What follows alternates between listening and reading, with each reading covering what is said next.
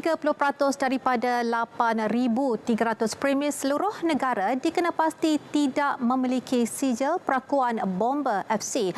Data diperoleh hasil pemeriksaan terhadap 8,300 premis mengikut Akta Perkhidmatan Bomba 1988.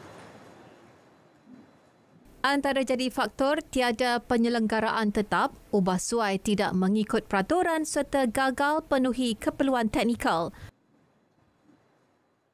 30% tu masih dalam proses untuk dikeluarkan uh, dan juga ianya sekira tidak mematuhi kita akan bawa ke mahkamah sebenarnya Akta 341 atau undang-undang berkaitan dengan keselamatan kebakaran ini Beliau ditemui selepas Majlis Penganugerahan Anugerah Perkhidmatan Cemerlang 2021 JBPM Pulau Pinang di Bayan Lepas.